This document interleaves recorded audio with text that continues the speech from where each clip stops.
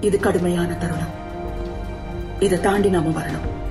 Covid தாக்கம் ரொம்ப அதிகமா இருக்கு. நமக்கு சுய கட்டுப்பாடு வேணும். இதுல ஒரு சின்ன அலட்சியம் கூட பெரிய விபரீதத்தை உருவாக்கிடலாம். முகக்கவசம் அணியறது சமூக இடைவெளி கைகளை அடிக்கடி நல்லா கழுவுறது இதெல்லாம் அவசியம் முக்கியம். This should be your utmost priority. இந்த சூழல்ல நமக்கு நம்பிக்கை வெளிச்சமா கிடைச்சிருக்கு. கோவிட் தடுப்பூசி. பதினெட்டு வயசுக்கு மேல உள்ளவங்க கண்டிப்பா இந்த தடுப்பூசியை போட்டுக்கணும். கொரோனா தடுப்பூசி.